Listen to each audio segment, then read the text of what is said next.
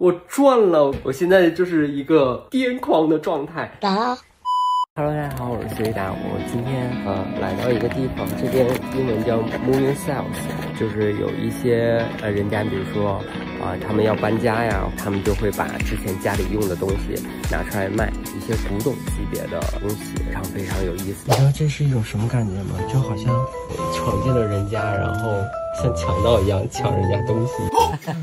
开始吧。晚宴包拿下，这个人在搜集的画报的不错，几十年前的东西拿下，这么多全是，我全要了。世界地图，世界历史，是不是超赞？拿下。A few moments later，当当当，我给大家展示一下我的成果，数了一下，一共有十八本儿，我给大家看一下里面。嘿，这个人从。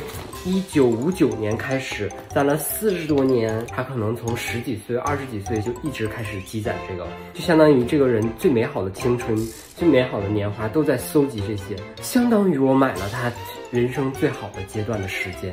这是我今天最大的收获。然后还有一本书特别有意思，它印刷的特别好。然后它是一个世界故事，感觉有一些都是神话故事。哎呀，这个也太好看了啊！我现在就是一个癫狂的状态。然后还有一个这个小瓶子，刚才让朋友看了一下，这个应该是。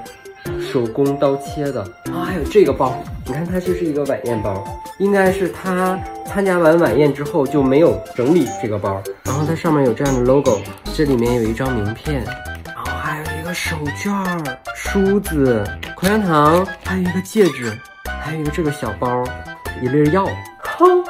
我赚了！我跟你说这个包，我跟你们讲，逛这种市场真的是会有很多很多惊喜，你知道吗？我还买了一个这德国生产丝绒的首饰盒，质感超好。还有两顶帽子，这种马术帽，你看它的内里做的相当考究。然后还有一顶这样的帽子，它这个内胆可以拿出来清洗，哦，这个点特别好。超棒！最后呢，就是这些手绢儿都是纯手工的，特别美。它上面的蕾丝啊，还有一点香味儿。你看它的这个锁边儿，它的这个边儿全是纯手工做的，就是那种爱马仕丝巾的那个卷边的方式在做，相当精致。哦呦，我太激动了，太开心了。我觉得在这边一个特别大的好处就是，嗯，他们把我们认知里面的古董当成日常的生活中在用的东西，所以我觉得来美国其实买古董是最合适的。就在我看来是非常非常非常值钱的，而且其实很多古董店的老板，他们也会去这种 Sales 去选，靠的就是大家的眼力跟鉴赏能力。这种地方太有意思了。那过几天我可能还会去古董小镇上去看，到时候再给大家去分享。哇，太开心了，拜拜。